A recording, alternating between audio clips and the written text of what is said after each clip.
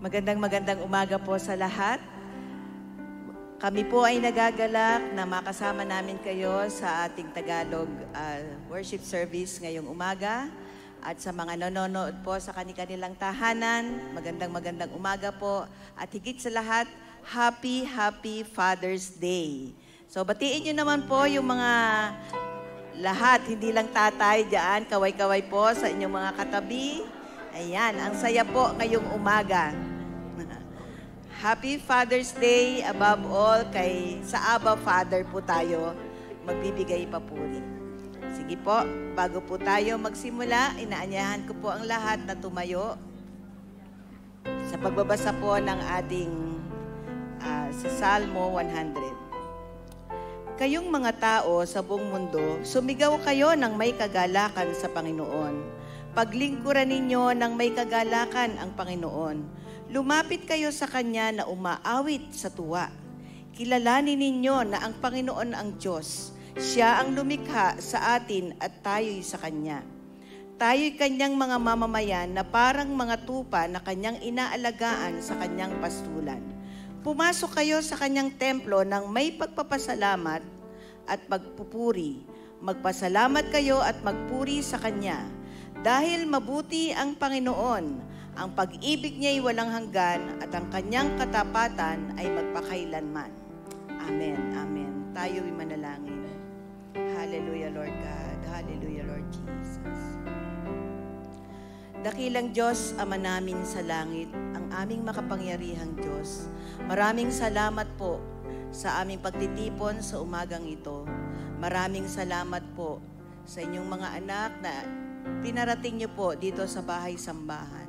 Salamat po sa kaligtasan at proteksyon na binigay niyo sa bawat isa habang kami po ay nagbibiyahe. Salamat po, Panginoon, sa kagalingan na binibigay niyo, lalo na po sa aming mga kapatirang may sakit.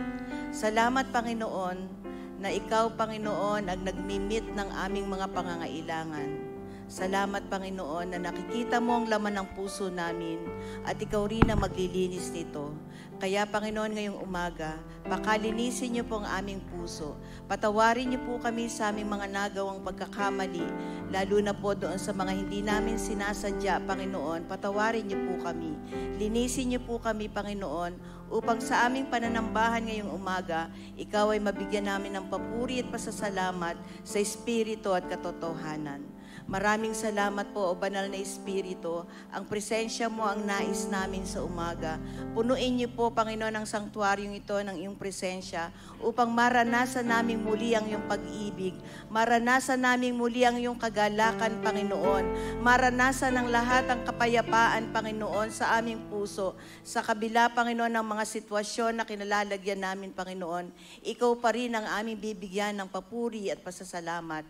Maraming salamat po, Panginoon, pangunahan niyo po ang bawat isa sa umagang ito. Binabalik po namin lahat-lahat ang papuri at pasasalamat sa iyo. Ito pong aming dalangin sa matamis na pangalan ng aming Panginoong Sus at ang lahat ay magsabi ng Amen.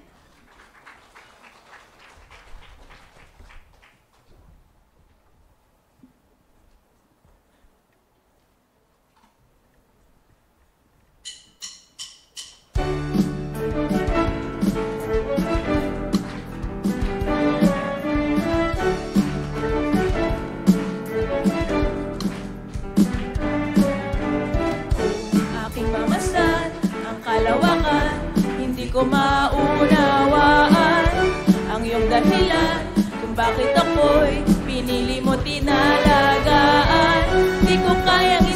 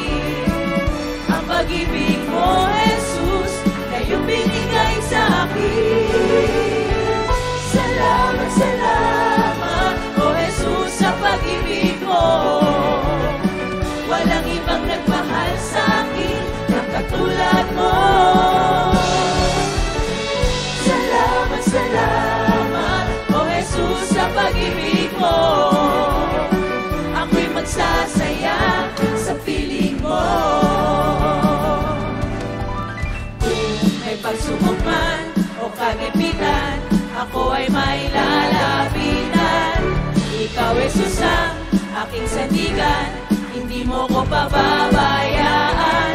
Di ko kayang isipin Hindi, hindi ko kayang sukatin. Ang pag-ibig mo, Jesus Na iyong binigay sa akin. Salamat, salamat O Jesus sa pag-ibig mo. Walang ibang nagmahal sa akin katulad mo. Salamat, salamat O Jesus sa pag-ibig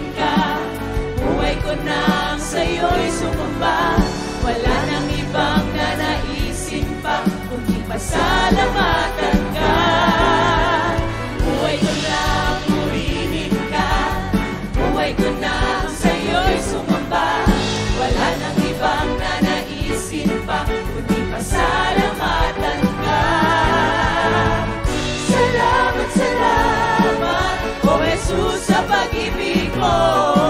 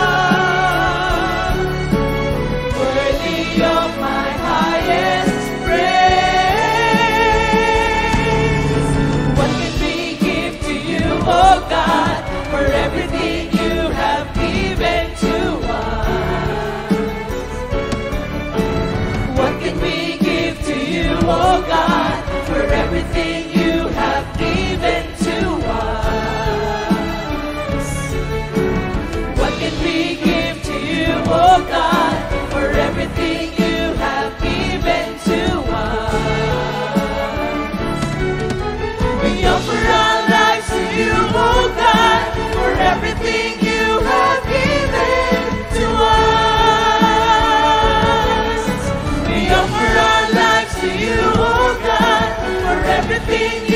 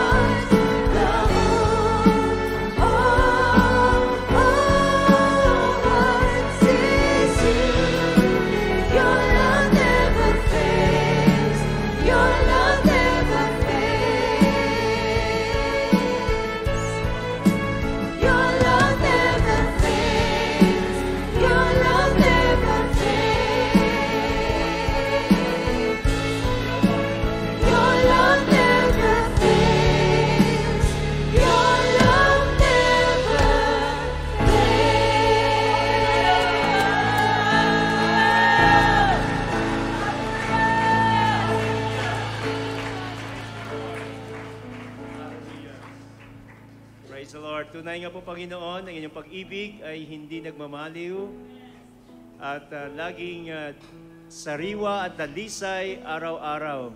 Maraming salamat, Panginoon, Lord, sa aming uh, nararanasan na iyong mayamang biyaya sa aming mga buhay. Maraming salamat, Panginoon, maging sa aming pagtitipong ito ay andito, Panginoon, ang inyong presensya. Lord, amin kang sinasamba at wala kaming ibang itinataas kundi ang pangalan ng iyong bugtong na anak, ang aming Panginoong Heso Kristo.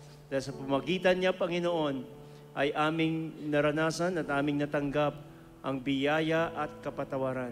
Maraming salamat po. Tunay nga po ng iyong pag-ibig, Panginoon, ay uh, dumadaloy, Panginoon, uh, hindi humihinto. Lord, at hindi naapektuhan ng anumang mga bagay na aming mga nararanasan, Lord God, maging ng aming kapaligiran dahil dakila ang iyong pag-ibig para sa amin bilang aming Ama. Maraming salamat po, Panginoon, at maging sa araw na ito ay nais po namin kayong batiin ng Happy Father's Day dahil kayo ang aming tunay na Ama. Maraming salamat po, Panginoon. Maraming salamat po sa iyong biyaya, kahabagan, Panginoon. Ito pong aming dalangin sa pangalan ng Panginoong Heso Kristo. Ang lahat ay sumigaw ng Amen. Amen.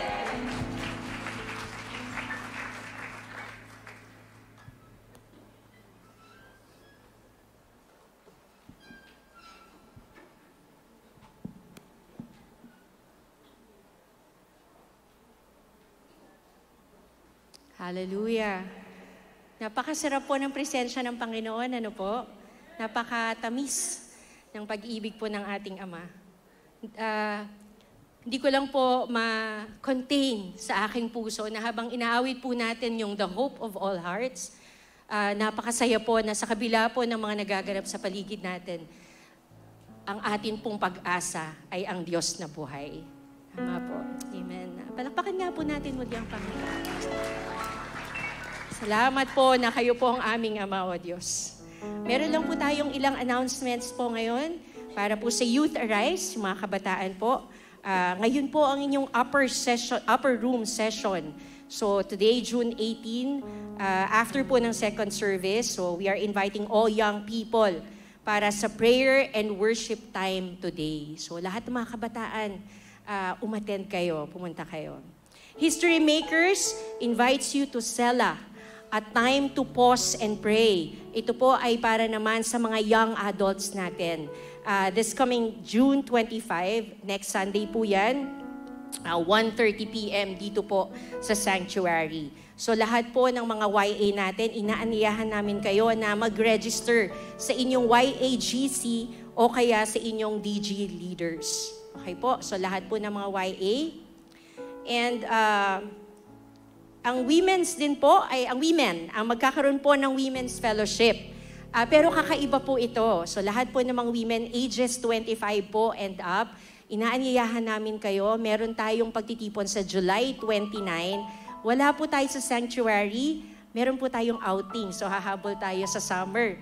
Uh, magpa-register lamang po kayo sana. Yung mga hindi po nakapagpa-register, sa online, I think yung mga iba po ay nasa online GC ng Levites.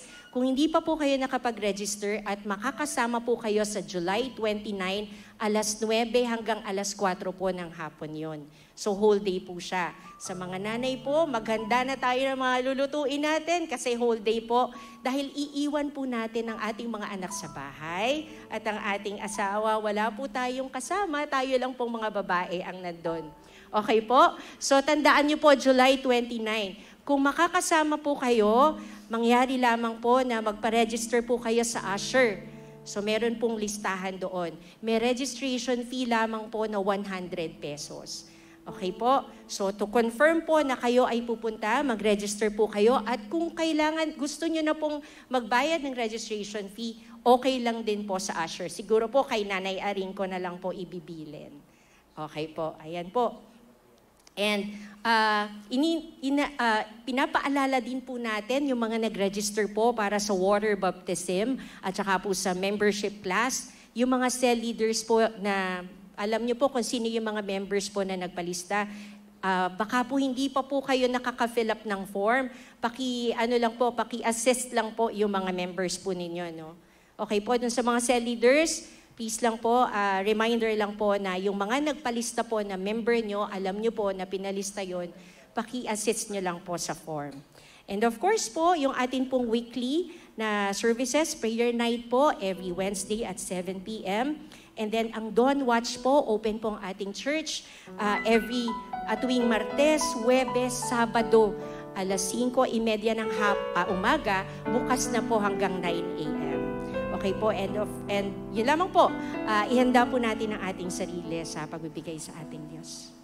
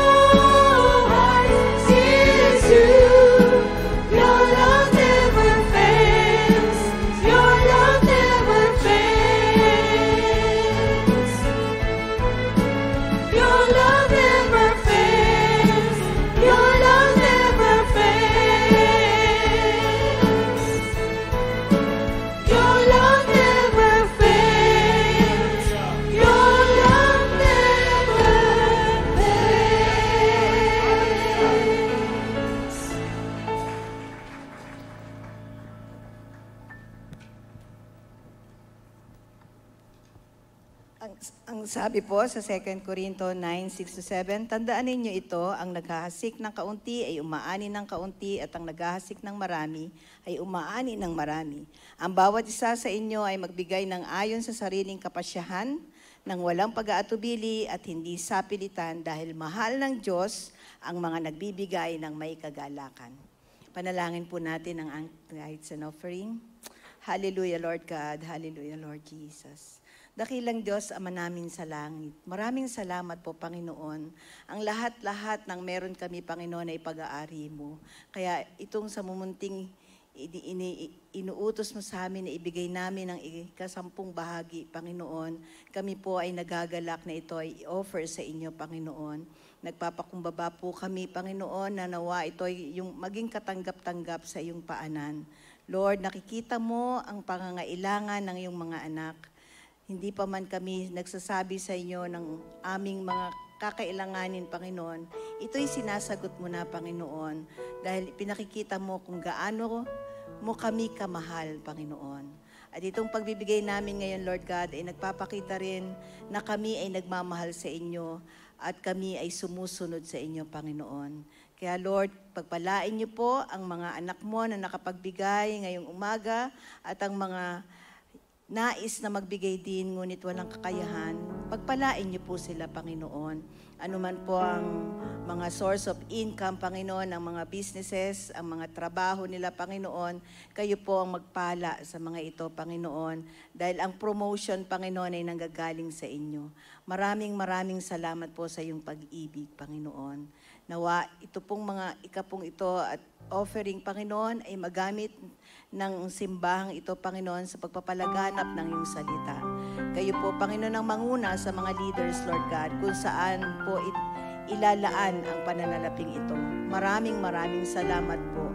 Ito po ang aming dalangin sa matamis sa pangalan ng aming Panginoong Yesus. Amen. Amen. Muli, mara, magandang magandang umaga po sa lahat. Happy Father's Day po. At kami po ay nagagalak na makasama kayong muli. At ngayong umaga ay pinagpala po tayo ng ating mga first-time visitors. At kung tawagin ko po ang inyong pangalan, makitayo po upang ma-acknowledge po namin kayo. Si Leandro Samonte. Nasaan po si Leandro Samonte? Ayon. Happy Father's Day. At si June Lorilia Jr. Nasaan po si June? Ayan.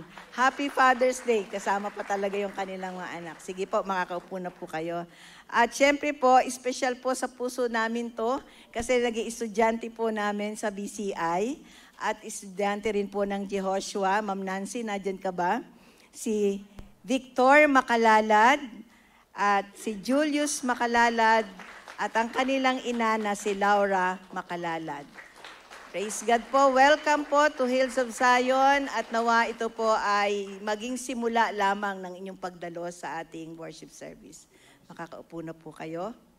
At bago po tayo makarinig ng ating ng salita ng Panginoon, eh, makakapakinig po muli tayo ng kung paano siya pinagpala ng Diyos sa kanyang buhay, sa kabila ng lahat ng mga pangyayari sa buhay-buhay natin. Siya po ay ministry head ng Ministry of Help, tama ba?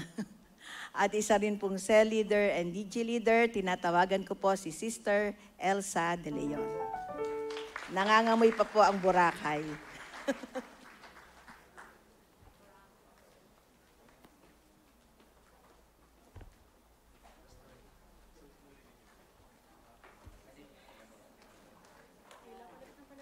Tila hinang-hinana ako.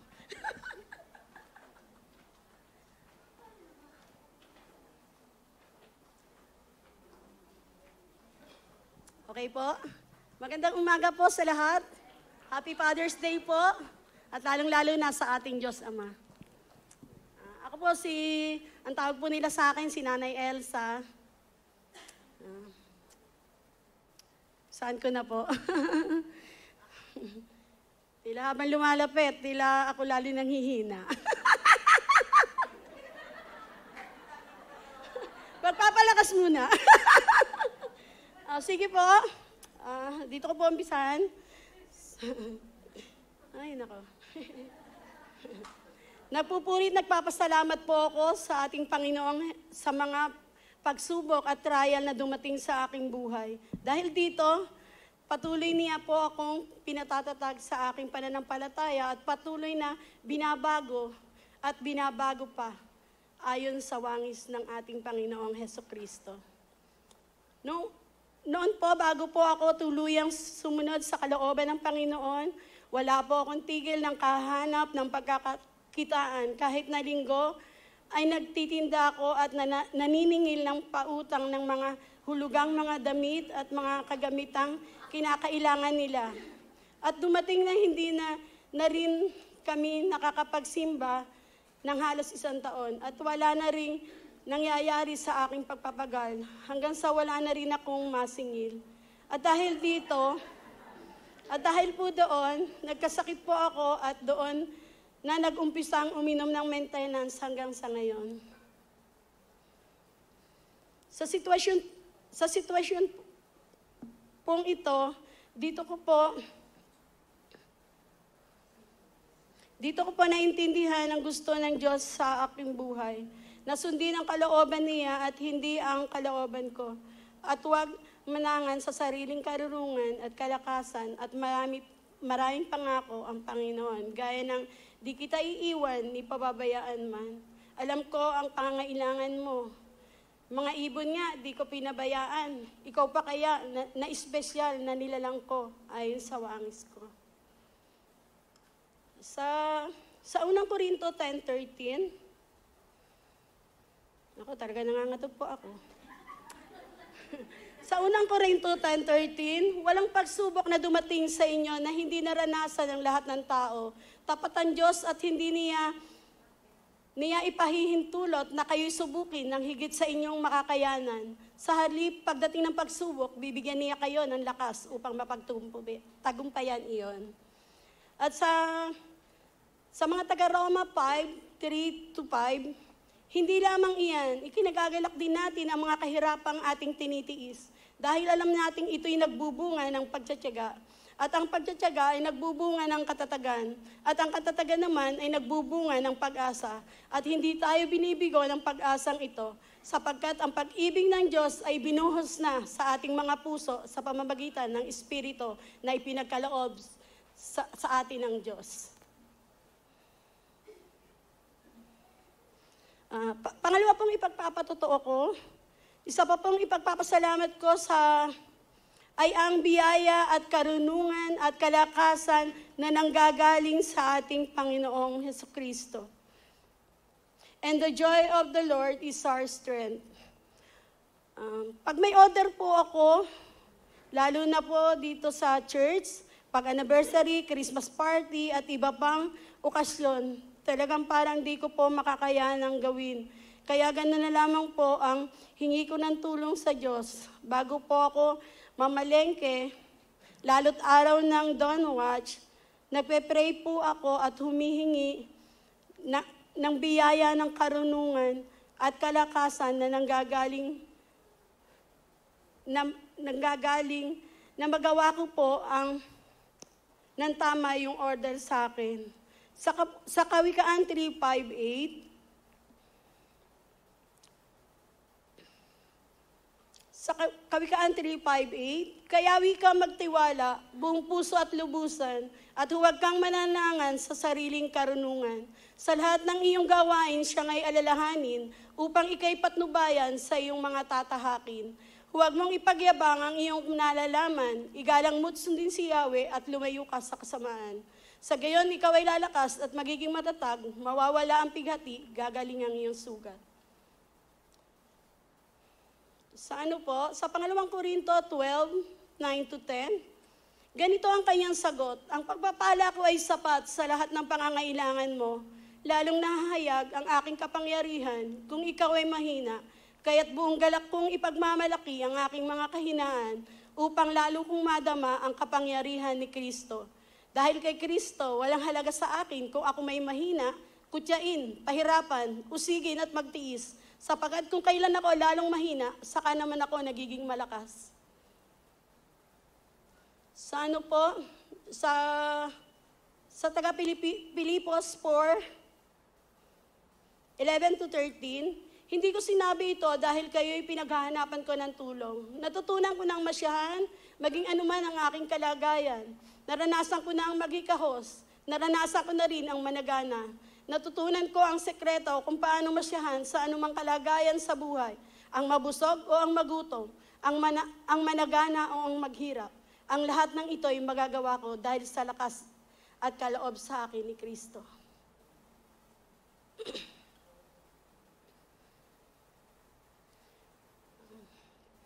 Anuman po ang ating mga pagsubok sa buhay o wilderness na pinagdaraanan, kailangan po natin itong mapagtagumpayan sa biyaya ng Panginoon. Sabi, at wag po nating kalilimutan ang linggo o ang Sunday, ito po ay para sa ating Panginoong Kristo. At patuloy po tayong umattend ng Dawn Watch para sa para po maranasan natin ang kapangyarihan ng Diyos sa ating buhay. To God be the glory.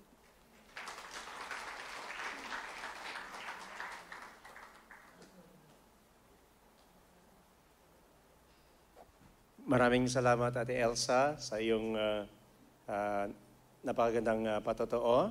Uh, tu- tunay nga na napakayaman ng biyaya ng Panginoon. At uh, gaya ng sinabi nyo, ang uh, pag-ibig ng Panginoon ay hindi nagmamaliw. Amen? Huwag kang kabahan kasi kasama mong Lord. Purihin ng Panginoon. So, ipag-pray po natin si uh, Ate Elsa. Let's pray. Lord, maraming salamat sa buhay uh, ni Ate Elsa. Salamat po sa inyong mayamang biyaya, Panginoon. Maraming salamat sa uh, kasigasigan, kalakasan na pinagkaloob niyo po sa Kanya. At ah, maging ang ah, ah, pagbabago, ah, Lord, at maging ang ah, ah, pagganap, ah, pag-fulfill, Panginoon, ng ah, inyong dakilang ah, ah, pagkatawag sa Kanya. Salamat na ginagamit niyo po siya, Panginoon, sa uh, special na ministeryong ito, uh, Ministry of Health. Salamat, Lord, at uh, tunay na kanyang ginagampanan ang uh, sinasabi ng salita ng Panginoon, ang uh, pagbisita ng mga may karamdaman, pagbisita doon sa mga nangangailangan. Salamat, Panginoon, patuloy niyo siyang uh, patatagin at uh, pagpalain sa kanyang paglilingkod sa isang napakahalaga, napaka uh, ang uh, gawain na ito.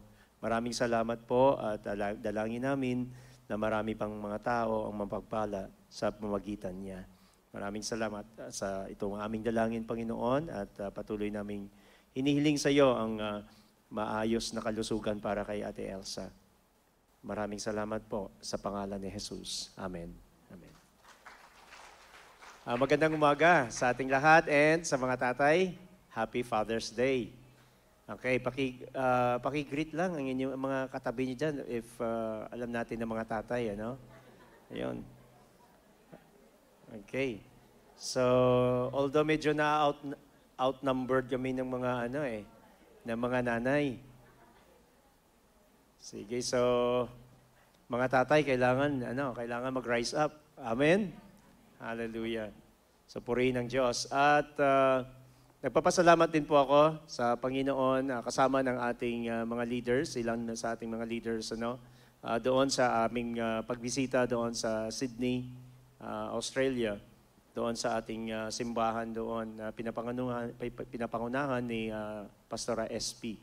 So, um, they uh, celebrated yung kanilang pang-apat na anibersaryo, uh, pang-apat na taon. At gayon din ang uh, uh, formal na uh, ordination doon sa kanya. So, talagang uh, ako'y natutuwa na nagbubunga ang ating mga panalangin. Yung mga prayers nyo ay talagang kitang-kita doon sa kanilang mga buhay. Bagamat very challenging kasi nga uh, may ibang ibang kultura at uh, iba din ang sitwasyon maging ng ating mga kababayan doon. Talagang uh, andun sila para magtrabaho. Kaya talagang yung oras ay wala sila, walang kagaya nito na mahabang oras, ano? Ah, talagang very busy sila. Pero salamat sa Panginoon na mayroon pa rin silang time talaga na maglingkod sa Panginoon. So please, ah, patuloy niyo po, ah, po natin silang ipanalangin kasi kailangan talaga ng manggagawa doon. So we don't know kung tinatawag kayo ng Panginoon ah, sa Australia. So ah, mag-take, mag-ano tayo, mag-respond tayo sa Panginoon. Pero kung wala naman, huwag niyo pong pilitin kasi napakalamig doon. 3 degrees. So kung kaya niyo po yung 3 degrees, so mag, malapit na magzi-zero yan. So talagang lagi kang naka-coat lagi yung ganyan, ano? Pero tinatry kong mag-short lagi. At mabuti naman, hindi naman ako naging ice candy. So, purihin ng Panginoon. So, napakagandang lugar. Ah, talagang kahanga-hanga ng gawa ng Panginoon. So, ah, sa umagang ito, since ah, Father's Day, so in line doon yung aking ibabahagi, ito'y patungkol sa ating Ama. Ah, na, ah, madalas nating ah, madalas nating naririnig at pinag-aaralan ang ah, katangian ng ating ah, Panginoong Heso Kristo, katangian ng banal na Espiritu. Ah, pero parang, ah, ah, of course, kasi ang ating Panginoong Jesus at ang Ama ay ah, sila ay ah, iisa, ano? Ah, in a sense na, you know, ah, three, in, ah, three persons, mayroong tatlong persona kasi Trinitarian po tayo, tatlong persona, ah, ngunit ay isang Diyos. Ibig sabihin, perfect yung kanilang pagkakaisa, yung ah, kanilang pag-iisip, ang pag-ibig, no? ay talagang yung katangian nila ay iisa. Kaya sila, kaya tinawag natin na ah, the Godhead of ah, three in one. Ganon. So ngayon ay ah, ating tunghayan ang pag-ibig ng ating Ama. So paano nga ba umibig ang ating Ama?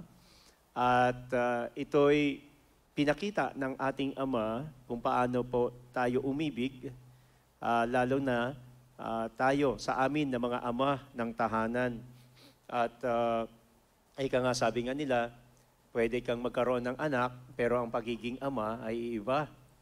Magkaiba po yun, yung magkaroon ng anak at magiging ama. So parang ah, automatic po yun sa atin dahil nga mayroon kang anak, pero ah, mayroon kang anak, so tinatawag kang ama. Pero yung katangian ng isang ama ay yun yung isang bagay, isang proseso po yun na kailangang maganap sa buhay, sa katangian, no? sa, sa buhay ng isang ama para magampanan niya ng kompleto yung pagiging ama. Hindi lang biologically, but yung presence, yung importance ng isang ama, yung role ng isang ama. Kaya nga pwedeng madalas nating na, na, naririnig sa mga drama, Yeah, mayroon niya na tayong tatay, mayroon akong tatay, pero parang wala naman siya. Kasi ibig sabihin, hindi ramdam ang pagiging ama. So, seemingly, parang blanco, no? Yung uh, bakante, yung ispa, yung ano na yon, yung uh, yung area na ng pagiging ama. So, ano nga po ba ang pag-ibig ng ating ama? Paano nga po ba siya umibig? At of course, ito ay very common na story sa atin. Pero tunghayan po natin kung paano umibig ang ating Ama sa atin. At gayon din ang gayahin, gayahin din natin itong pag-ibig ng ating Ama. So, makita po natin ang ating ang kwentong ito sa Lucas, no? Luke chapter 15, uh, verse 11, 11 hanggang 13. So, kwento po ito. alam, alam niyo po yung kwentong ito. Talagang uh, common ito. Ito yung uh, isang, uh, sabi nga nila, ang term is alibugha, no? prodigal, alibughang anak. Okay. So tatay ito ng isang alibughang anak. So mahirap ano? Mahirap maging tatay sa mga ganitong uh, sitwasyon. So basahin pa natin. Sinabi pa ni Jesus, may isang tao na may dalawang anak na lalaki. Sinabi sa kanya ng bunso, Ama, ibigay na po ninyo sa akin ang mamanahin ko. At hinati nga ng ama ang kanyang ari-arian. Pagkalipas ng ilang araw, ipinagbili ng bunso ang kanyang kaparte at nagpunta siya sa malayong lupain.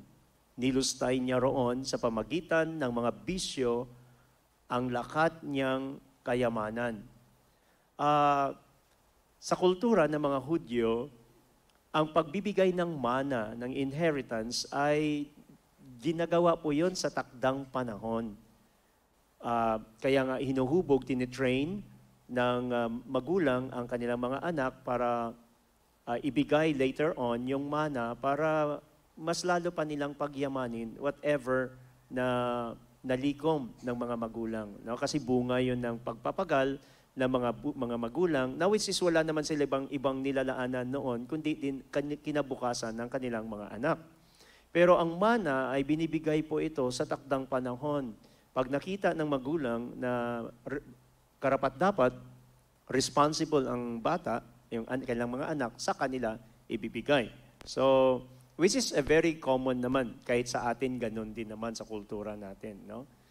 So, ako, tuwang-tuwa ako dahil uh, ang ganda ng mana sa akin. No?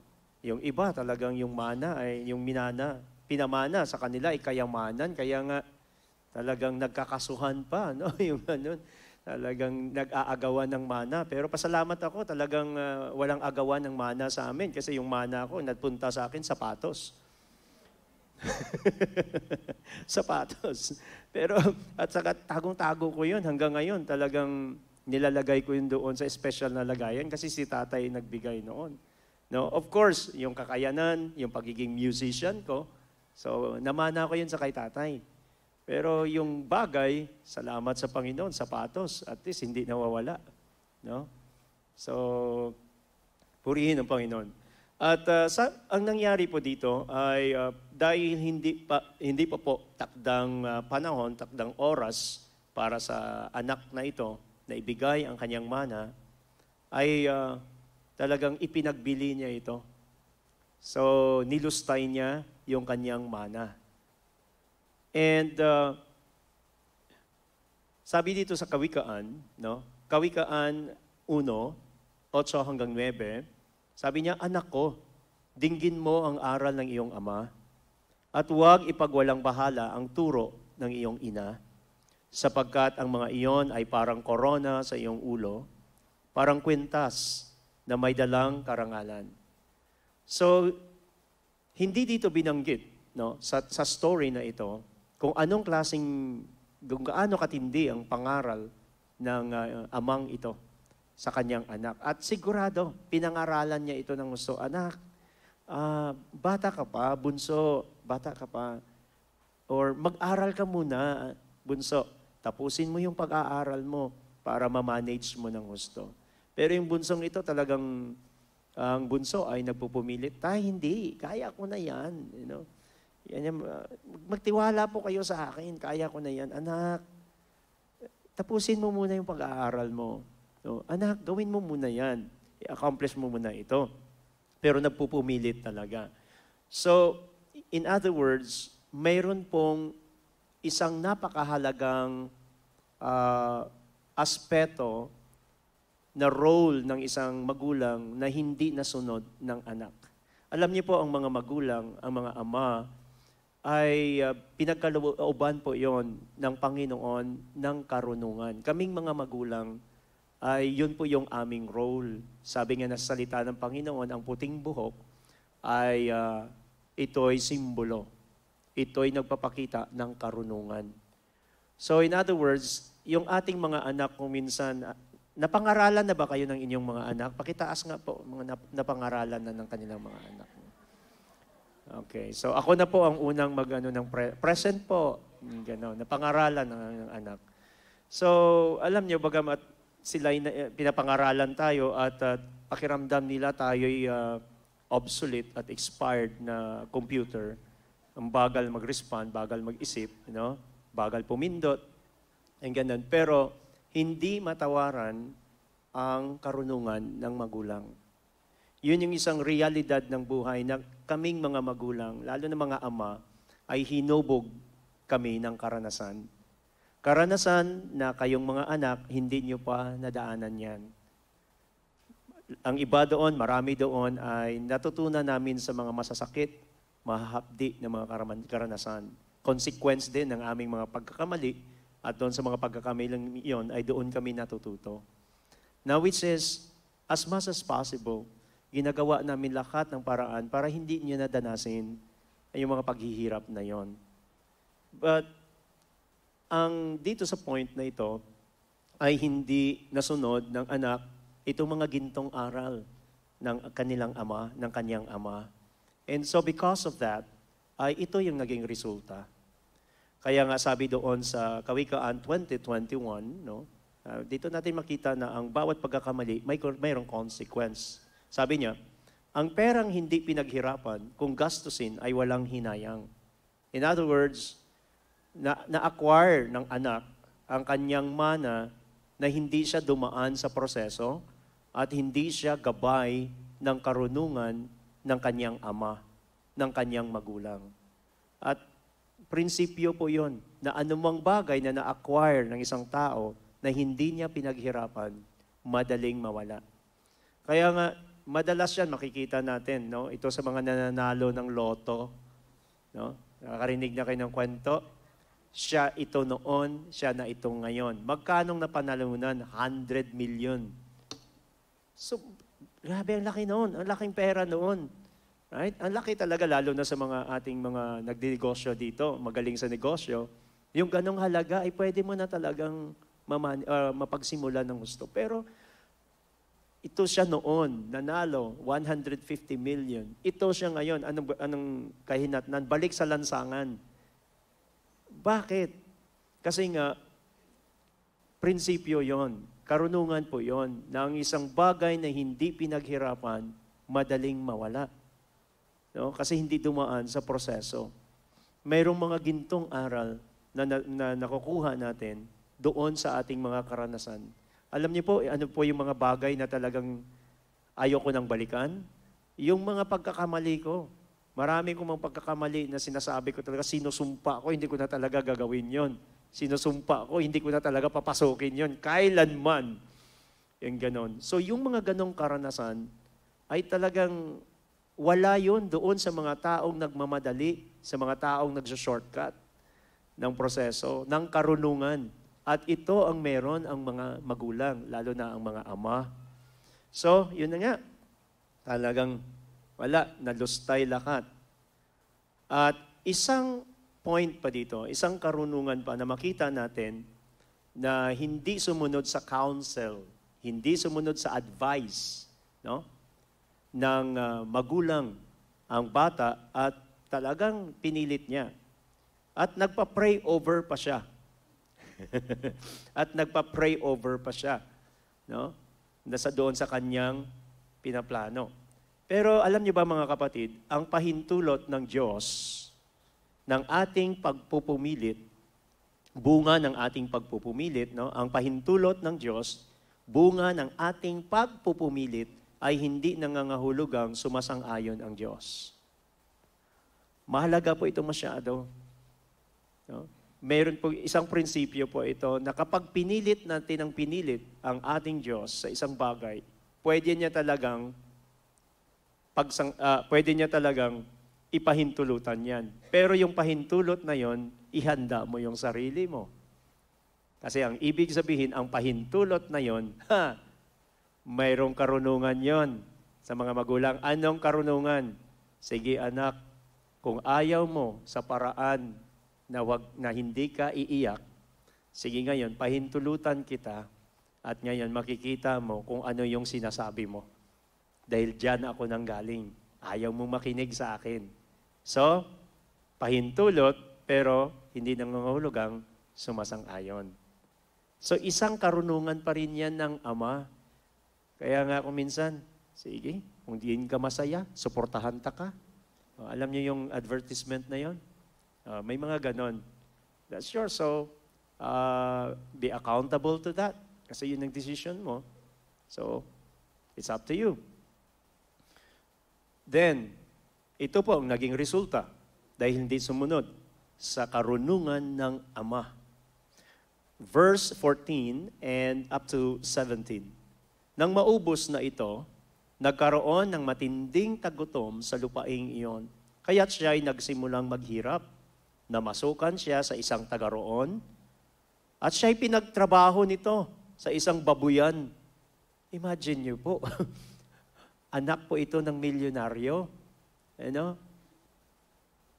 He grew up in a silver plate, ika nga sabi nila sa tindi ng kanyang gutom at dahil sa wala namang nag, nagbibigay sa kanya ng pagkain, halos kainin na niya ang mga bungang kahoy na kinakain ng mga baboy.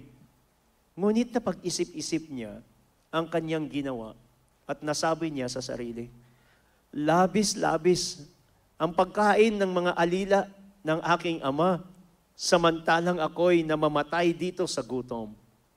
So yun na. Yun na ang consequence ng isang desisyon na hindi dumaan sa payo ng Ama, sa karunungan ng Ama. So, here, dito natin, dito natin makikita na tayong mga ama ay kailangan dapat talagang tayo ang source ng karunungan, tayo ang source ng gabay, tayo ang source ng, ng tamang direksyon sa loob ng tahanan. In other words, si tatay ay dapat halimbawa. Kasi siya yung tinutularan, siya yung example. Yung ganon. Pero ang hirap, no? Kung ang tatay mismo ang prodigal. Masakit po yun. Di ba? Nagtatrabaho si nanay. Nag, talagang grabe, nag, naglalabada, nagtitinda. Tapos si kuya, andoon, nag-overtime. San si tatay? Andoon sa sabungan. Parang si tatay yata dito ang prodigal. okay. So here nakita natin dahil hindi sinunod niya ng anak ang karunungan ni tatay, ay ito ngayon ang naging resulta. Ang mga bagay na napakasakit na hindi na dapat kailangang maranasan, ito na. Dinanas niya, ito. dinanas niya na. Subalit, na napakaganda, mabuti na lang. Okay? Mabuti na lang na ang anak na ito ay nakapag-isip-isip. Sabi ko nga kanina, anak ito ng milyonaryo at hin- may yaya ito na simula ng anak, bata pa siya, may, may taga-toothbrush sa kanya. Ang gagawin niya lang, gaganon lang siya. And then tayo, nakabibihisan niya ganun. Ito po yung anak na ito, ganyan. O, tapos pakilabas ang ah, Ferrari. Alam Ferrari? Hindi, Ferrero. Ferrari. Ah, Ferrari yung sports car. pakilabas po ang sports car. Ganito po yung anak na ito. Mayaman po ito. Right? Pero imagine niyo yung opposite ng kanyang naranasan, kaning baboy. Imagine niyo yun, ay talagang kakainin, nagde-decide na siyang kakainin yung ganon. So, hirap talagang, ang hirap ng leksyon na ito na dinaanan niya dahil hindi siya sumunod sa payo ng Ama. Alam niyo po ba na ganito din po ang nangyayari sa atin? Ang ating amang nasa langit ay talagang napakaganda ng kanyang plano sa atin. Paborito natin ang versikulong ito, Jeremiah 29:11, di ba? Sabi ng Lord, "For I know the plans I have for you, the plans to prosper you and not to harm you, but to give you hope and a bright future." Yun po ang plano ng ating Ama. Pero alam niyo tayo talagang matigas din ang ating mga puso. Matigas ang ating mga ulo. Kaya anong nangyayari? Napapahiwalay tayo sa Diyos. Kahit anong payo ng salita ng Diyos sa atin, kahit anong pagpapaliwanag ng salita ng Diyos sa atin, sinusunod pa rin natin yung ating mga kagustuhan. Kaya tayo din, in some ways, ay nakakaranas ng pagkakamali ng alibughang anak na ito. No? And we learn the lesson the hard way. Well, salamat at nakapag-isip-isip ang anak na ito at nagbunga ng pagsisisi. Alam mga kapatid, sabi ko nga kanina, ang pahintulot ng Diyos, you know, bunga ng ating pagpupumilit ay hindi nangangulugang sumasang-ayon ng Diyos. Pero ang pahintulot na ito ay wisdom pa rin, wisdom, karunungan pa rin ng isang ama na turuan ang kanyang anak sa isang pinakamasakit na kaparaanan. At ang bunga pa rin nito ay kalkulado ng tatay yan. Kalkulado ng tatay yan. Na alam ng tatay, babalik ka rin. Nagtatumatahimik lang ang tatay, sige anak, ayaw mong sumunod. Pero sa loob-loob niya, isang araw, babalik ka rin. Karunungan ng tatay yon, yung ganon. At tunay nga, ito nga po yung nangyari. No? At sinabi doon sa 2 Corinthians uh, chapter 7 verse 10, sabi dito, sapagkat ang kalungkutang buhat sa Diyos ay nagbubunga ng pagsisisi at pagbabago tungo sa kaligtasan. Ngunit ang kalungkutang dulot ng mundo ay humahantong sa kamatayan. Well, ganito. Kung tinuloy-tuloy ng, ng anak na ito, yung kanya, kung talagang tinuloy-tuloy niya, yung kanyang paglulunoy doon sa bisyo, sa lakat ng nagwasak ng kanyang buhay, sabi niya, ang, ang kahantungan noon ay kamatayan. At yun ang talagang nakakalungkot na sitwasyon. Dahil hindi din naman lahat nakabalik. Sa lahat ng mga hindi sumusunod sa magulang, iilan din naman doon hindi nakabalik at tuluyang nawasak ang kanilang mga buhay. At ito po yung sinasabing kalungkutan, you know, dulot ng mundo na humahantong sa kamatayan. Nakakalungkot po yun. At sinasabi ng salita ng Panginoon na kapag tayo ay nasa ganitong sitwasyon, huwag po nating ituloy. Huwag po na yung manatili dyan sa mga bisyo, sa mga bagay na nagwawasak ng ating buhay. Sa sitwasyon na alam natin na talagang lusak yan ng kasalanan. Sinasabi ng salita ng Diyos, manumbalik ka sa Panginoon. Hindi mo ba nararamdaman na naghihirap ka? Maraming nagmamahal sa iyo. Pero bakit ibig binibigay mo talaga yung tao na yan sa isang tao? Habol ka ng habol diyan sa taong yan na inaano ka na nga eh, inaabuso ka na nga. Eh kasi mahal ko siya. Eh pagmamahal ba yon? Natingnan mo nga yung itsura mo. Ang bata-bata mo pa, mukha ka ng, mm-hmm. Hindi ko na matuloy. Right? Yung, yung edad mo, sa itsura mo, ang layo. Eh dahil dyan sa pinipilit mo kasi talaga. Dapat maging malungkot ka sa sitwasyon na yan. At manumbalik sa tamang landas. Kasi nga, na-abuse ka na eh. Right? Kung talagang totoong pagmamahal yan na galing sa Diyos at tamang desisyon yan, number one, dapat nagiging mabungang yung buhay. Naging masigla ka, punong-puno ng buhay at higit sa lahat, dapat talagang napapalapit ang relasyon mo sa Panginoon. Tingnan mo. Ang layo mo sa Diyos. O, yun ba ang tamang tao? Yun ba ang tamang sitwasyon? Napapalayo ka sa Panginoon? So, ibig sabihin, ito yung sitwasyon natin. Kagaya tayo ng prodigal son na ayaw natin makinig sa payo ng ating Ama. Amang nasa langit. Pero instead, na ituloy-tuloy natin yan at maging martir, martir na walang katuturan, piliin natin ang isang kalungkutan, maka-Diyos na kalungkutan. Ano yun? Yung nalulungkot ka, na bakit ganito ang aking sitwasyon? Bakit ang layo ko sa Diyos? Kita mo, hindi maganda ang imahe mo kay nanay, kay tatay. Hindi ka nagiging magandang halimbawa, eh ate ka pa naman, ikaw pa naman si kuya. Pero yun, hindi ka na, na nagiging magandang halimbawa kay bunso, sa iyong mga kaibigan. Bakit? Bakit ganito ako? Hindi naman ako ganito. And then, magbubunga yan ng tinatawag nating godly sorrow.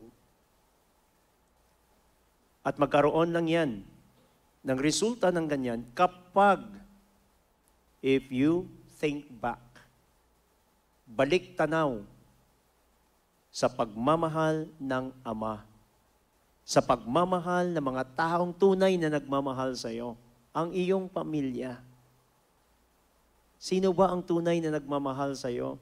Ang Diyos na naglikha sa iyo. Walang kapantay ang kanyang pag-ibig. Walang umibig sa iyo. Walang ibang nagmahal sa iyo kagaya ng ating Diyos. Bakit mo siya ipagpalit sa ibang pag-ibig? Sa ibang bagay? Bakit mo ipagpalit ang iyong pamilya? Ito yung pamilya mo, nagmamahal sa iyo. Alam mo ba, na kapag andyan ka na sa rectangular na nakahoy, um, ngayon medyo mas mura uh, ano, uh, lata, kabaong. Alam mo ba kung sino ang iiyak sa iyo? At talagang maglalamay sa iyo? at maghahatid sa iyo sa huling hantungan? Yung mga tunay na nagmamahal sa iyo, sino yon? Pamilya mo. Kung naisip mo yon, magkaroon ka ng tinatawag na godly sorrow. Bakit nga ba ginagawa ko ito? Babalik ako. Babalik ako. Babalik ako doon sa tunay na mga nagmamahal sa akin. At sa isang taong makasalanan, sasabihin niya, babalik ako sa Diyos. Manumbalik ako sa Panginoon. Bakit pa hintulutan kong sarili ko na mag-suffer ng ganito? So yun po yung godly sorrow. Yun yung kalungkutan na napakaganda. So ano ang resulta nito? Pagbabalik loob. Pagbabalik loob sa Diyos. And verse 17 to 19. Ngunit napag-isip-isip niya ang kanyang ginawa at nasabi niya sa sarili, ito na nga, labis-labis ang pagkain ng mga alila ng aking ama. Samantalang ako'y mama- namamatay dito sa gutom, babalik ako sa aking ama. At sasabihin ko sa kanya, Ama, nagkasala po ako sa Diyos at sa inyo. Hindi na po ako karapat-dapat na tawaging anak ninyo. Ibilang na lamang ninyo akong isa sa inyong mga alila. Ito po ang godly sorrow. Maka-Diyos na kalungkutan. At ang resulta po nito, nai-enlighten ka. Ito'y napakagandang ah, realisasyon na naranasan ng anak na ito. Mga kapatid, ang pagsisisi, ang pagsisisi sa ating mga kasalanan at pagtalikod dito ay ang tanging susi na ating maranasan ang biyaya at kapatawaran ng Diyos. Alam niyo po ba mga kapatid, kung ano yung kasing liit ng buhok na hibla na yan, yung hibla na namamagitan sa iyong sitwasyon at yung tinatawag nating pag-asa, pagpanibagong buhay. Alam niyo po ba kung anong namamagitan na yan? Ang liit lang yan. Ang liit-liit lang yan. Parang kasing liit ng buhok. Yung pagitan ng masaklap na buhay at buhay na maayos.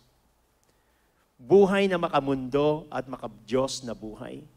Buhay na hiwalay sa Diyos at buhay na malapit sa Diyos. Alam niyo po ba kung anong namamagitan ng maliit na yan, na kasing liit ng buhok?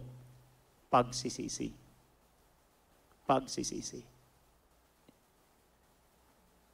Ang tanging rason na bakit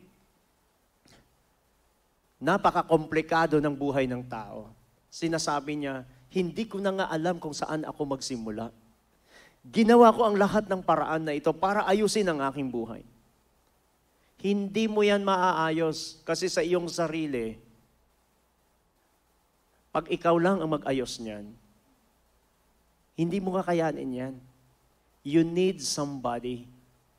Kapag ikaw, dahil ang iyong kalagayan, kapatid, hindi simpleng kalagayan yan. Ito yung tinatawag nating kumunoy, quicksand. Pag kumunoy ang iyong kalalagayan, you need somebody to help you. At alam niyo kung anong shortcut lang na tanging paraan? Pagsisisi. You need that helping hand. You need somebody na talagang makapagligtas sa iyo. At walang iba kundi ang ating Diyos, ang ating Panginoon, that can quickly help you, that can quickly save you.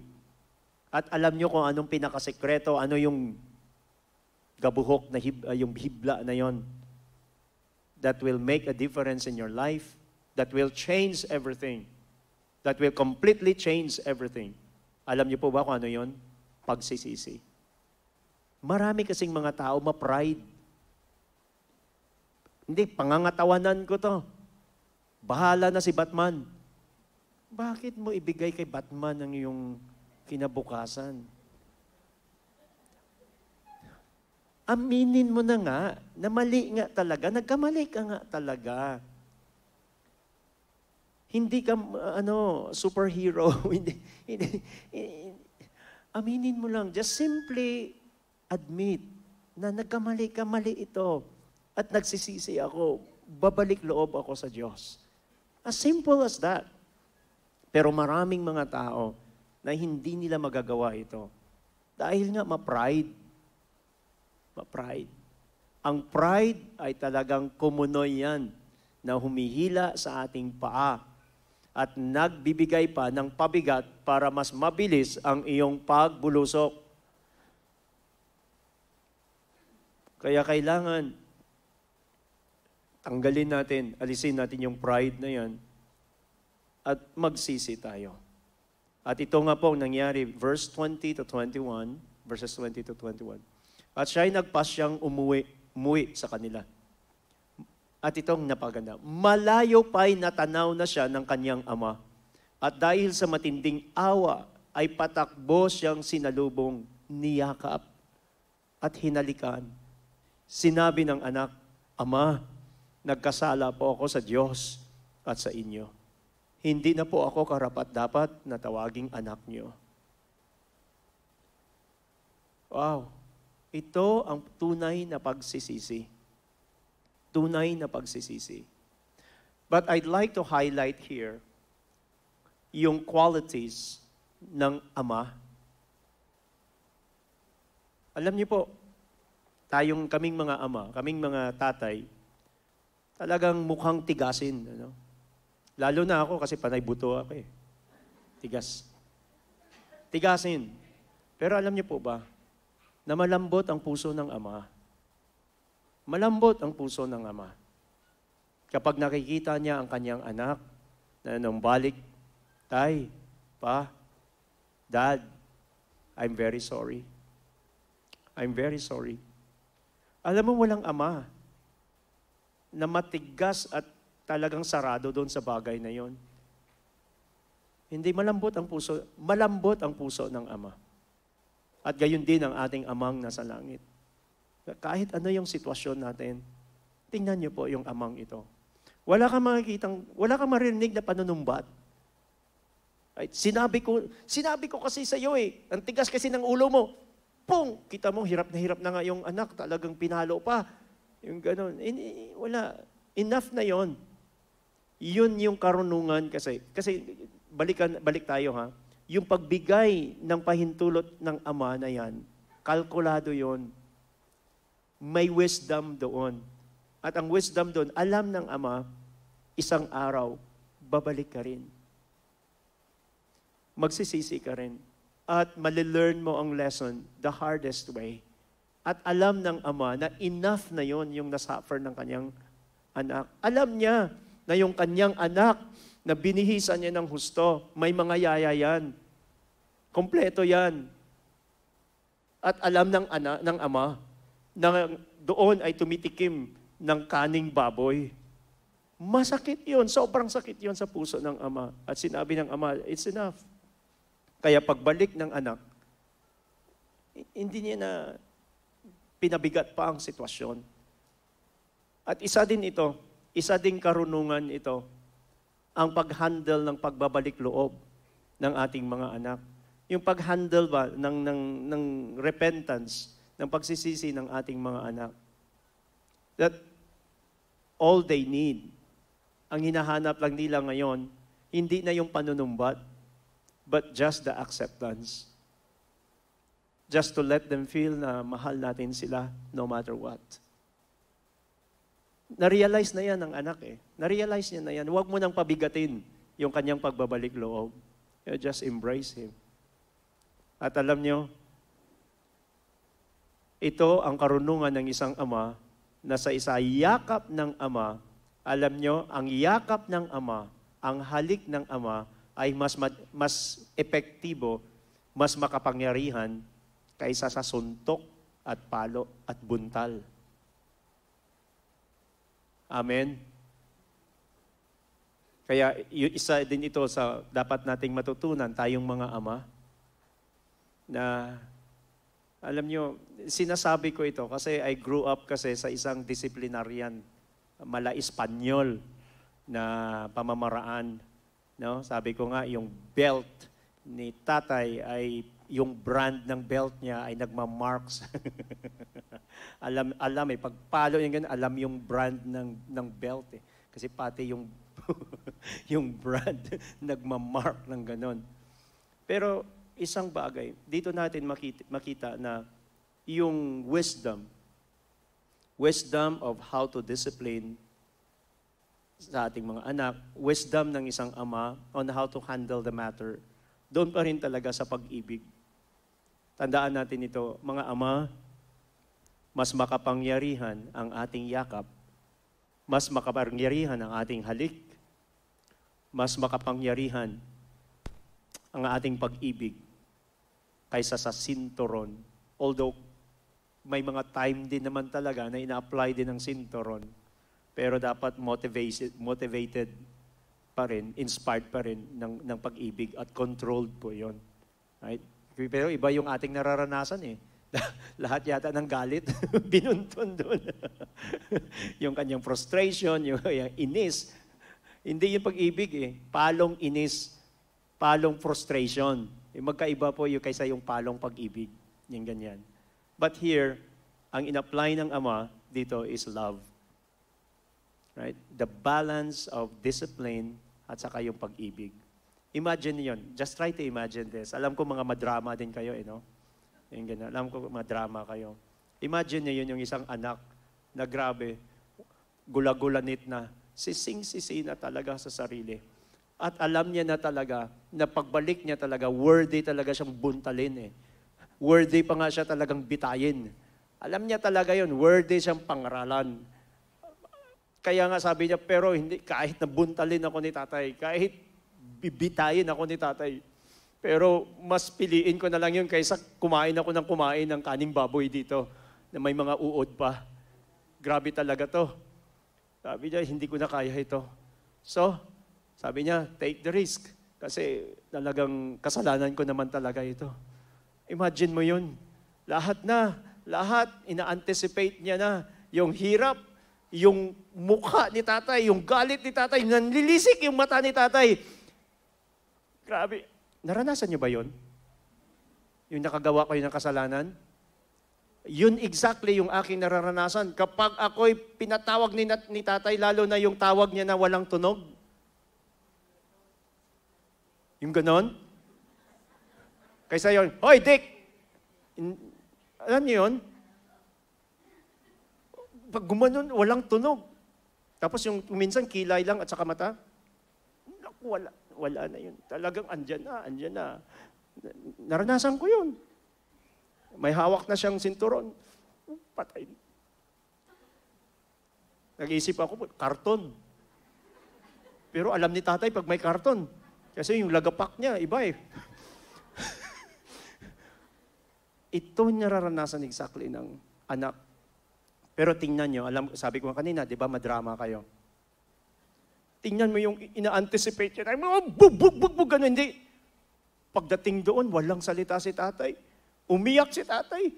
Niyakap siya. Niyakap at sinabi, anak, mahal kita, anak. Salamat. At nagbalik loob ka. Pinapanalangin kita araw-araw. Wala akong iniisip araw-araw kundi ikaw, anak. Ah.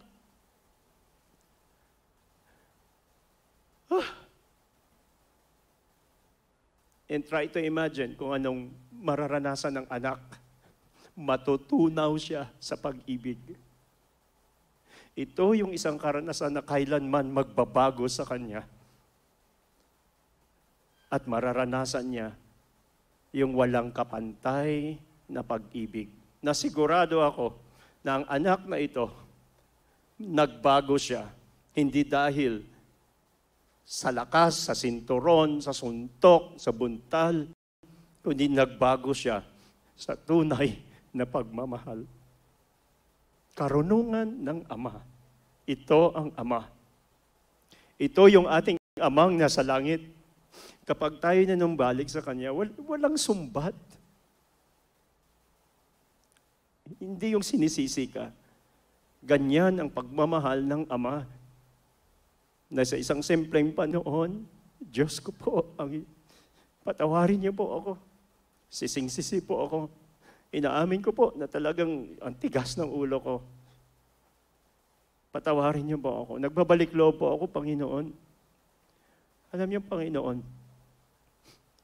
talagang puno ng pagmamahal at hindi niya tayo i-reject. Dahil ang katotohanan niyan, mga kapatid, kahit andun tayo malayo sa Kanya, kahit andun tayo sa kamunduhan, dahil kahit andun tayo at naglulunoy sa ating mga kasalanan, mga kapatid, ang pag-ibig ng Ama ay nananatili. Your love never changed. His love never changed. Saan man ang iyong sitwasyon, nagre-rebelde ka man sa Panginoon, tumatakbo kung saan-saan, tumatalikod, pero ang pag-ibig ng Ama sa iyo ay nananatili. Na kahit andon ka, kapatid, sinusubaybayan ka ng Diyos. Sa kadahilan ng nag-aantay siya na manumbalik ka sa Kanya. At ito ang sinasabi ng salita ng Panginoon sa awit 139 verses 1 to 12. Ako'y iyong sinis- siniyasat. Batid mo ang aking buhay. Ang lahat kong lihim, Yahweh, ay tiyak mong nalalaman. Ang lahat ng gawain ko sa iyo ay hindi lingid. Kahit ikaw ay malayo, batid mo ang aking isip. Ako'y iyong nakikita, gumagawa o hindi man. Ang lahat ng gawain ko ay pawang iyong nalalaman. Di pa ako umiimik. Yaong aking sasabihi, alam mo ng lahat iyon. Lahat ay di malilihim. Ika'y laging kapiling ko. Katabi ko, oras-oras. Ang likas mong kalakasan ang sa akin nag-iingat. Nagtataka ang sarilit, alam mo ang aking buhay. Di ko kayang unawain iyang iyong karunungan. Saan ako magpupunta? Upang ako'y makatakas. Sa iyo bang espiritu? Ako ba'y makakaiwas? Kung langit ang puntahan ko, tiyak na naroroon ka. Sa daigdig ng mga patay, humimlay man ako'y, ikaw din ang kasama. Kung ako'y makalipad, umiwas na pasilangan, o, o kaya ang tirahan ko ay ang dulu, duluhan ng kanlur, kanluran. Tiyak ikaw ay naroon upang ako'y pangunahan. Matatagpo kita roon upang ako'y tulungan. Kung ang aking pagtaguan ay ang dilim na pusikit, padilim, padiliming parang gabi ang liwanag sa paligid Maging itong kadiliman sa iyo ay hindi dilim, at sa iyo yaong gabi, parang araw na maningning. Madilim at maliwanag, sa iyo ay pareho rin. Kapatid, ito po ang salita ng Diyos. Ito po ang damdamin ng Panginoon para sa iyo. Saan ka man naroroon, pakiramdam mo'y napakalayo na sa Diyos. Pero kapatid, hindi ka nilulubayan ng Diyos. Hindi ka iniiwan ng Panginoon, andyan pa rin siya. Nagaantay lang siya na bumaling ka sa Kanya at sabihin mo, Panginoon, I'm sorry. God, I'm sorry. At ako'y nanumbalik sa iyo. At sinasabi na ng, ng iyong sarili, parang hindi na ako karapat dapat. Parang ang hirap ng magbago ng buhay. Parang ang, ang hirap ng bumalik sa Diyos. Pero kapatid, ito yung sinasabi ng salita ng Diyos na dyan sa pinakamadilim mong kar- karanasan, pinakamadilim mong sitwasyon, pinakamadilim mong iniisip, mahal ka ng Diyos. Mahal na mahal ka pa rin ng Panginoon. Mahal na mahal ka pa rin ng Panginoon. At anuman ang iyong ginawa, gaano man katindi ang kasalanan na iyong ginawa, ang pag-ibig ng Panginoon sa iyo hindi nagbabago. Yun pa rin. Dalisay. Nagaantay lang siya na bumalik ka Iyan ang puso ng ating Ama. Yan ang puso ng ating Diyos. Ganyan ang kanyang pagmamahal. Nag-aantay lang sa iyo na bumalik ka. Hosea 11.4 Pinatnubayan ko siya ng buong pagmamalasakit. Ito yung sabi ng Panginoon. Pinatnubayan ko siya ng buong pagmalasakit at ng buong pagmamahal ang katulad ko ay isang nag-aalis ng gusal sa kanilang bibig at yumuko ako upang sila'y mapakain. Sabi doon sa Isaiah, Isaiah chapter 1 verses 18 to 19. So yamang ganito ang pag-ibig ng Diyos. Ano po ang ating respond? Hali kayo at tayo'y magpaliwanagan, sabi ni Yahweh. Gaano man kapula ang iyong mga kasalanan, kayo'y aking pagpapuputiin. Tulad ng yelo o bulak kung susundin ninyo ang aking sinasabi, tatamasahin ninyo ang ani ng inyong lupain. Ang agwat, uh, awit 103 verses 11 to 13. ang agwat ng lupa't langit, sukatin may hindi kaya. Gayon ang pag-ibig ng Diyos sa may takot sa Kanya. Kung gaano kalayo ang silangan sa kanluran, gayon din niya inalis sa atin ang ating mga kasalanan. Kung paano nahahabag ang ama sa anak niya, gayon din siya, gayon siya nahahabag sa mga sa may takot sa kanya. And then, dito po tayo mag, uh, magtatapos. Lucas 15:22 to 24. Ngunit tinawag ng Ama ang kanyang mga alila, madali.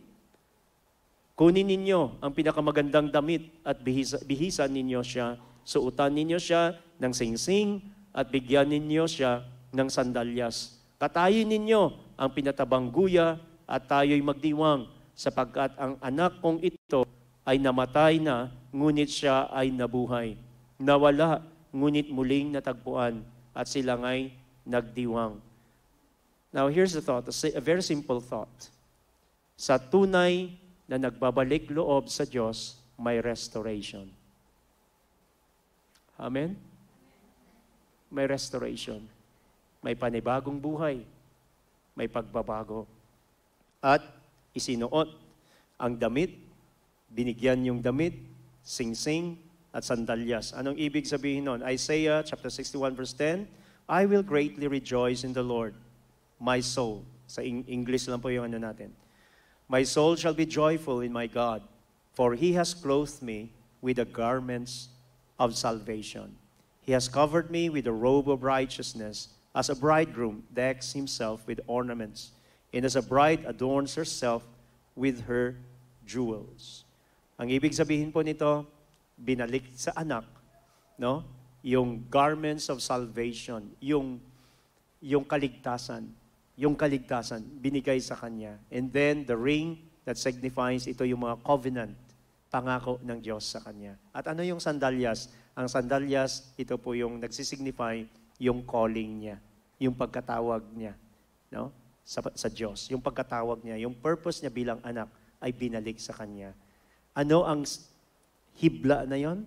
Ano yung sekreto na yon? Pagsisisi. Kapag may tunay na pagsisisi at pagbabalik loob sa Diyos, pagtalikod sa kasalanan, may restoration. Amen? Amen? Amen po ba? Praise the Lord.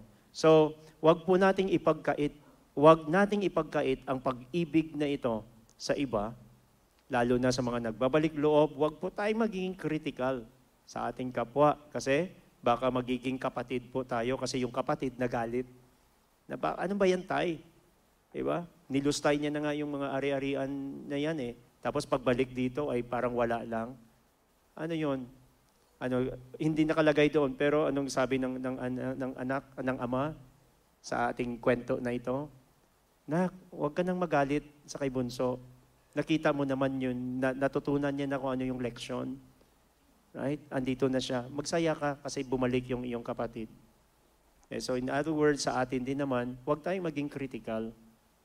Right? Huwag tayong mag-judge ng tao na ganyan.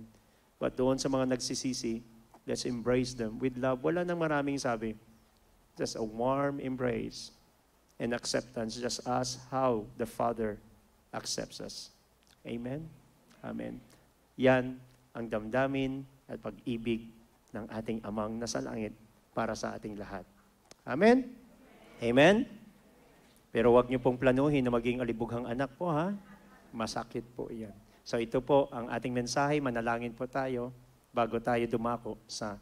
Uh, Di ba may celebration kayo para sa amin? Naniningil kami. Hindi kompleto ito. Hindi ko talaga tatapusin ito eh kung wala yon. Ah, hindi ko ibibigay microphone sa iyo kung wala kayong celebration. So manalangin tayo. Let's just pray and thank the Lord. Hallelujah. Sige, tumayo pa tayong lahat. Panginoon, labos po kami nagpapasalamat. Salamat, Ama. Salamat sa iyong dakilang pag-ibig. Lord, we really appreciate, Lord God, yung, yung love mo na ganito sa amin. Salamat, Lord Jesus. Napakadalisay, Panginoon, at walang humpay na pagmamahal. At salamat din, Lord, na yung pag-ibig na ito ay punong-puno ng pag-asa, Panginoon. At uh, Lord, kung kami man ay uh, sa mga nagawa naming mga kasalanan, humihingi po kami ng tawad, Panginoon. And always, Lord God, na nanumbalik sa iyo, O Diyos. Walang ibang nagmahal sa amin ng kagaya niyo. Kayo lang talaga. Salamat po, Ama.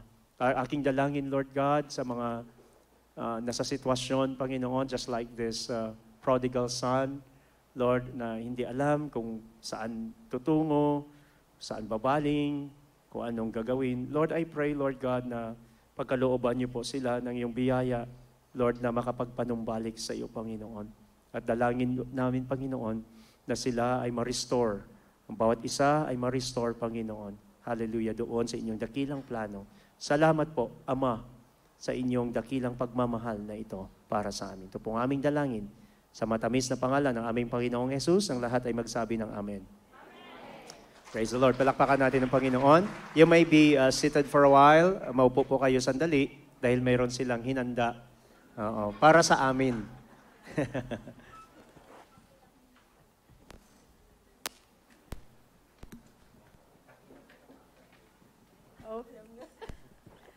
Okay, so happy Father's Day po muli sa lahat ng tatay ng Hills of Zion. Kala ko Merry Christmas eh. Oo nga, mapla. Pasko tayong dalawa. Ayan po, lahat ng mga tatay, excited ba kayo sa mga mga hinanda namin para sa inyo? Bakit nanay yung sumagot? nanay yung sumagot, excited. Sige po yung mga tatay, excited ba kayo? Ayan. Yan. Tita, Pero- bago yan. Yan, merong Sige. kakaiba tayong gagawin ngayon Ay, meron ba? para sa Father's Day. Ano yun? Hindi tayo. May papagawa tayo sa kanila. Oh, okay.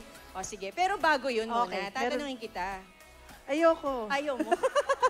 Ano yun, tita? ano nangyari sa hosting natin? Yes, tita, anong tanong mo? Anong maiyayabang mo sa tatay mo? Ay, yung tatay ko. Hindi ka ready, Hindi, no? hindi ako ready. Hindi ko nasabi sa'yo dun eh. Oo nga eh. O sige, mamaya na lang yun. Sige, tita. mamaya na lang yun. tita. Okay, palabas muna natin tong video na to para sa ating mga tatay.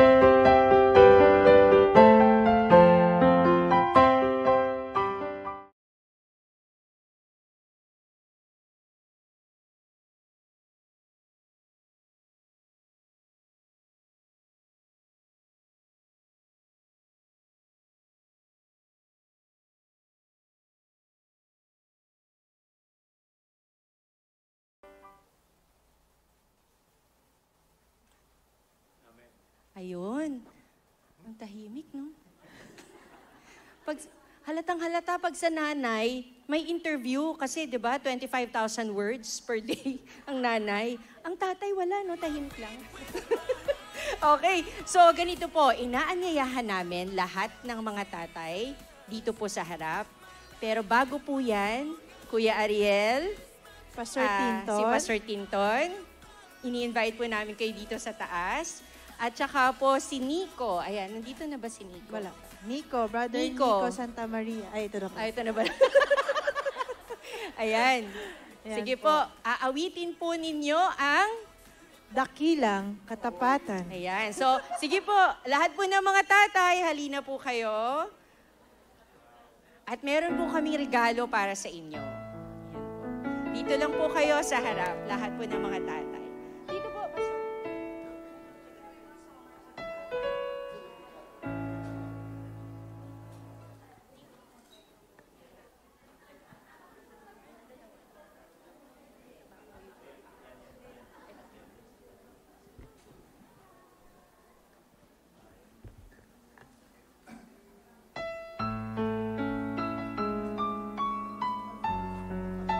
Sa lahat po ng tatay na anyanyahan po namin kayo na pupunta po rito sa harapan.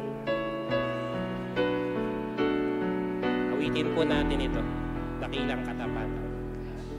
Sadyang kay buti ng ating Panginoon Nagtatapat sa habang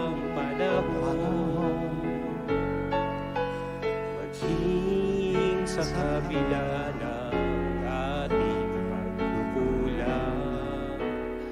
Biyaya niya'y patuloy na lahat. Tulad ng pagsinag ng itong araw Patuloy siyang nagbibigay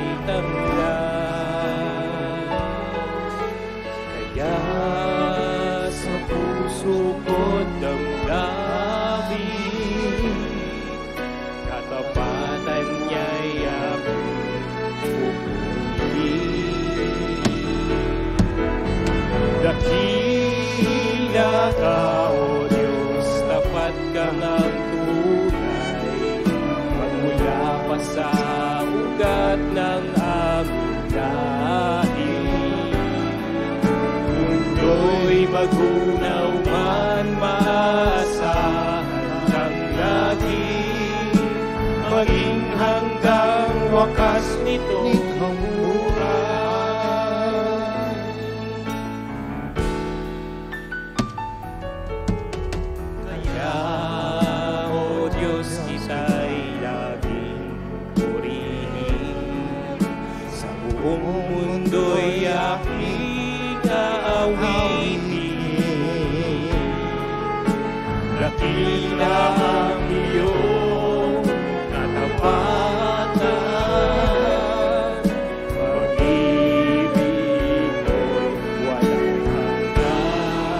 Dakila ka! Dakila ka, sa habang panahon. Katapatan mo'y matibay na sandigan. Sa bawat biglating tagumpay man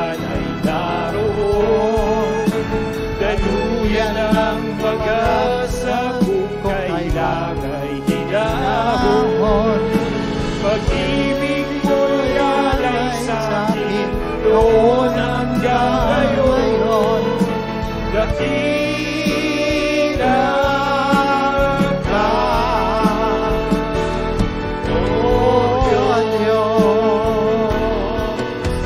Dakila ka, O Diyos, sa habang panahon. Katapatan mo'y matibay na sandigan. Sa bawat tikating tagumpay man ay naroon. Daluyan ang pag-asa kung kailang ay hinahon.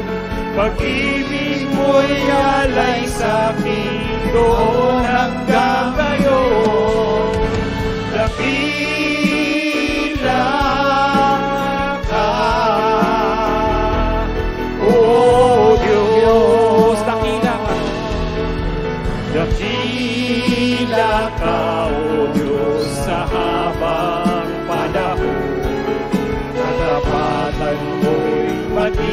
matibay na sandigan. Sa bawat bigating tagumpay man ay naroon. Daluyan ang pag-asa kung kailangan hinahon. Pag-ibig mo'y alay sa akin doon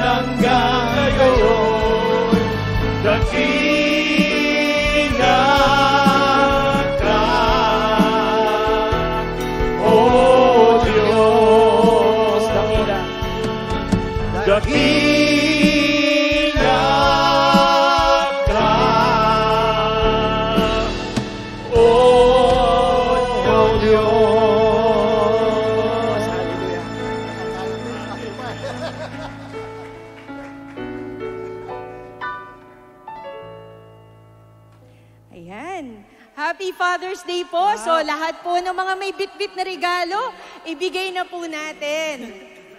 Sige po, ibigay na po natin ating token Tapos sa ating mga ipapanalangin tatay. po natin ang ating mga tatay.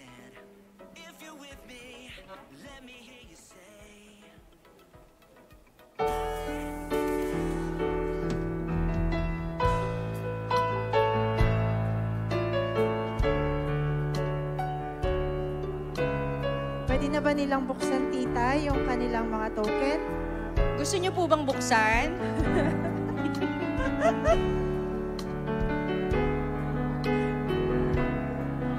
Sige po, pwede niyo po buksan. At silipin. Sige nga po, buksan niyo nga po.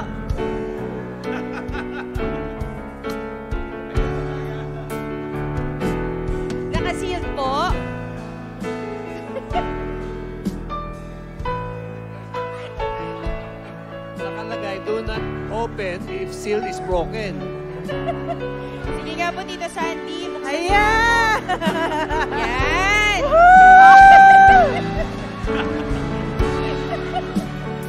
Dahil Teka, teka. Invite naman. masisipag ang ating Teka, mga teka. tatay.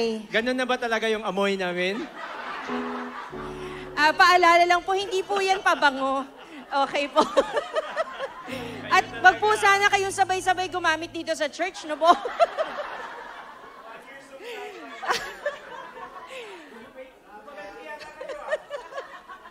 O, tatlong sizes po yan. So, yung maliit po, pang bulsa nyo. Pang bahay po yung pinakamalaki. Yung medium po, bahala na kayo. Basta, ingat lang po sabay-sabay sa church. Praise God po. Ayan po, para po pag may nananakit sa inyo, pahid-pahid lang. Ma'am Herda, invite po namin kayo para ipanalangin ang ating mga tatay.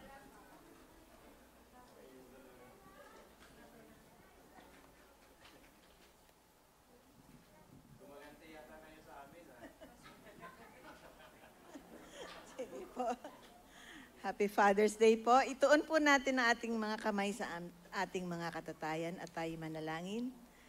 Hallelujah, Lord God. Hallelujah, Lord Jesus. Dakilang Diyos, Ama namin sa langit. O Abba Father, Abba Father. O Abba Father, tunay na Ikaw ang Diyos namin na makapangyarihan at punong-puno ng pag-ibig. Salamat sa sukdulang biyaya mo, Panginoon, na binibigay mo sa aming mga tatay dito sa simbahan na ito, Panginoon. Tunay na ikaw ang tumawag sa kanila upang maging ama ng tahanan. Kaya, Panginoon, sinasabit po namin sila sa inyo, Panginoon. Kayo, Lord, ang magbigay sa kanila ng karunungan, ng kalakasan, physical man at spiritual, Panginoon, upang pamunuan nila ang kanilang mga tahanan, Panginoon, na maging mahusay silang ehemplo sa kanilang mga anak at maging sa asawa, Panginoon. Lord, Ikaw po ang humawak sa kanila. Nakikita mo ang laman ng puso nila, Panginoon. Pakaingatan niyo po, Panginoon, ang mga ito na tanging takot sa Diyos ang ang maging laman ng kanilang puso at hindi takot sa tao, Panginoon. Lord, patatagin niyo po ang kanilang pananampalataya, lalo na sa kapanahon ng ito, Panginoon, na tunay na napakaraming nangyayari sa aming kapaligiran. Pero ikaw ang hawak sa kamay nila upang manatiling nakatayo at matatag na hawakan din nila ang kanilang buong pamilya, Panginoon. Lord, dalangin ko rin po ang mga ina at maging mga anak na patuloy nilang ipanalangin ang kanilang ama ng tahanan dahil ito ang magdadala sa pamilya, Panginoon. Lord, ang simbahan ay binubuo ng pamilya. At ang pamilya ay binubuo, Panginoon, ng ama, ng ina at mga anak. Kaya Lord, sinusurrender po namin sa inyo, Panginoon, ang bawat isa. Ang aming mga ama ng tahanan, ang aming mga ina ng tahanan, at ang maging anak, mga anak, Panginoon. Dalangin ko po, Lord, lalo na po yung mga wala dito sa aming ka- kasama namin sa pananambahan, Panginoon. Nawa, Lord God, sa pamamagitan ng pagmamahal ng mga amang ito, ay maakay din po ang kanilang mga anak na tumayo sa pananampalataya at sa pag-ibig mo, Panginoon. Dalangin ko, Lord, lahat ng miyembro ng pamilya, Panginoon, ay maakay sa iyong paanan dahil ipinangako mo, me and my household will serve you, Lord. I pray, O God, na lahat ng pamilya ng Hills of Zion City Church, Panginoon, ay maglilingkod sa inyo sama-sama ang buong pamilya. At Lord, dalangin ko rin po na manatili ang pag-ibig sa bawat isa. Pag-ibig na ibinigay mo sa bawat isang iyong mga anak. Pag-ibig na sinakripisyo mo ang iyong buhay para kami ay maligtas. Ito rin ang pag-ibig na madama ng aming pamilya sa pamamagitan ng aming mga ama ng tahanan. Panginoon, dalangin ko po na yung mga sakit na yan, dahil sa katandaan ay hindi, Panginoon, mag mag ano sa kanila, maghinder sa kanila para patuloy na lumapit sa inyo, Panginoon. Walang sakit na makaka-separate sa iyong pag-ibig, Panginoon. Walang anumang pangyayari sa buhay ang makakapaghiwalay sa pag-ibig mo, Panginoong Yesus. Kaya dalangin ko po, Lord, hawakan niyo po, yakapin niyo ng inyong pag-ibig ang mga dakilang ama ng tahanang ito, Panginoon. O dalangin ko po, Lord, na kayo po, Panginoon, ang laging magpaalala sa kanila, Panginoon. Lalo na po sa kanilang pag-iisa, na ikaw, o Panginoong Jesus, ang yumayakap sa kanila at umiibig sa kanila ng tapat, Panginoon. Kung nakukulangan man sila, Panginoon, sa atensyon sa pamilya, Panginoon, ikaw po ang magpuno nito, Lord God. Ikaw po ang magpuno ng atensyong ito sa aming am- mga dakilang amang ito. Salamat po, Panginoon, sa patuloy mong pagbibigay ng biyaya sa bawat isa sa kanila. Salamat po, Panginoon, sa kalakasang binibigay mo sa bawat isa na ikaw, Panginoon, ang magtatatag sa kanila bilang dakilang ama ng bawat tahanan. Maraming maraming salamat po. Tunay na ikaw o aming Abba Father ang dadakilain sa buhay nila, ang bibigyan ng mataas na papurit pa sa salamat Salamat po, Panginoon. Ito po ang aming dalangin sa matamis sa pangalan ng aming Panginoong Yesus. Amen. Uh, stay lang po mga fathers at uh, tuwayo po tayong lahat para sa ating uh, pagtatapos. Ano? Salamat sa Panginoon. Hallelujah. Oh, thank you, Lord Jesus, sa inyong kabutihan. Salamat po sa aming natanggap, Panginoon ng iyong mayamang biyaya, ng iyong presensya, ng iyong pangungusap uh, sa mensahe, Panginoon. Maraming salamat po. And thank you for allowing us also to, to celebrate, Lord God, this uh, day, Lord God, for the fathers. At uh, Lord, higit sa lahat, kayo ang aming binabati, Panginoon. Happy Father's Day. Happy Father's Day. And you are our loving Father. You are our heavenly Dad. Thank you so much, Lord. Hallelujah. Hallelujah. May the Lord bless you and keep you. May the Lord's face continually shine upon you and be gracious to you. The Lord lift up his countenance upon you and grant you peace. Receive that blessing in the most precious name of our Lord Jesus Christ. I pray. Amen. Amen. Amen. So, God bless you all. Happy Father's Day. I-celebrate po natin yung ating mga tatay. Ano? Marami po tayong mga restaurants dyan. Ah.